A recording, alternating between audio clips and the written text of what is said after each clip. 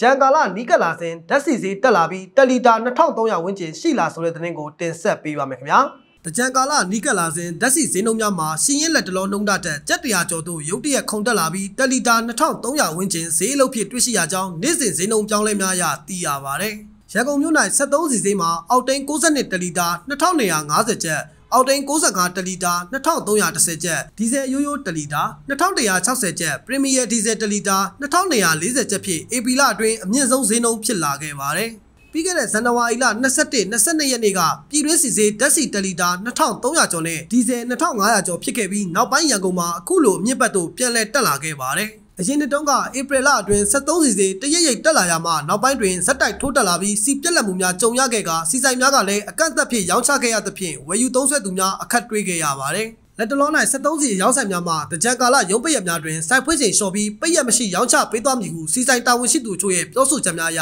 သိရပါတယ်ခင်ဗျာ။